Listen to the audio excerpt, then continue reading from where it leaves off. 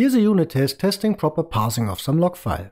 It prepares some content to parse, calls the parser and verifies the result. This test is small, simple and expressive, but it has one unnecessary smell. It uses I.O. directly, which slows down the test, makes it dependent on the environment, and reduces the reliability of the test.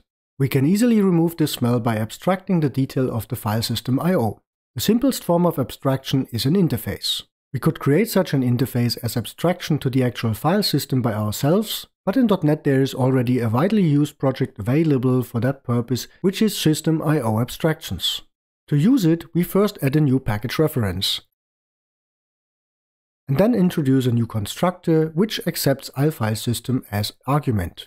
We also create an explicit default constructor to not break the existing code, which instantiates the file system object, which acts as an adapter to the real file system.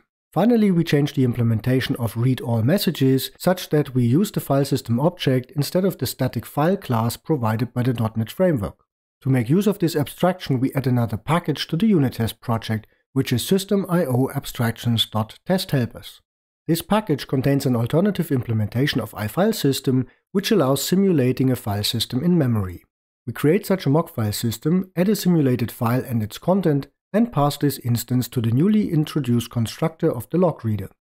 When we run the test, we see that it passes without having any dependency to the real file system.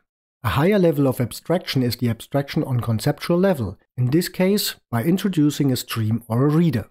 The concept of streams and readers exists in many programming languages and frameworks, so in most cases no external library is needed. To make use of this concept in the log reader, we first introduce a new method which reads all lines from a text reader.